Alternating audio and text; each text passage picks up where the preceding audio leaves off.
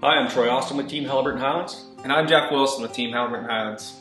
And today we are located on the southern tip of Haliburton County on Moore Lake. It's a beautiful medium-sized lake. It has great access off of 35, um, only two hours from the GTA. And uh, you know, you're tucked away and off the road here that you don't, far enough off the road you don't hear it.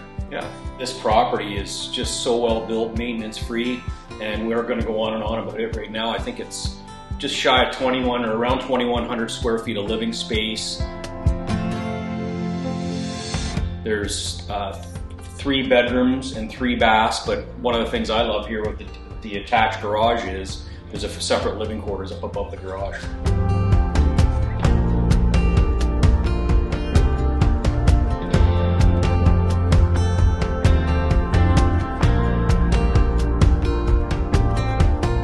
We're assuming here too, they tore down and rebuilt this cottage, and the nice thing about being able to do that is it's legal non-conforming use, and we're right on the water's edge.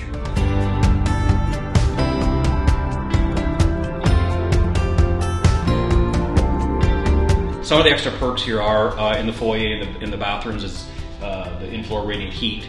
It's got on-demand hot water heating, a forced air propane furnace, backup generator, and air conditioning the whole layout is great. I, I love the way they've laid it out. All the finishes, it's all high end. You just come up and enjoy it. There's absolutely nothing to do here.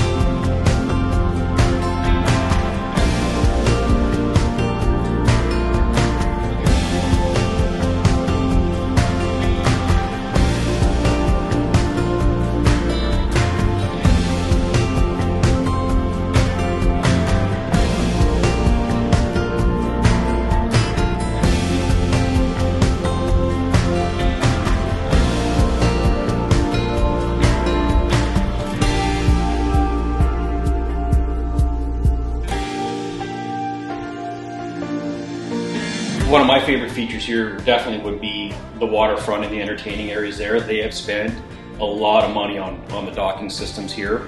And the other thing is uh, this boathouse that they built right at the water's edge with a flat roof. It's endless possibilities of what you can do with it.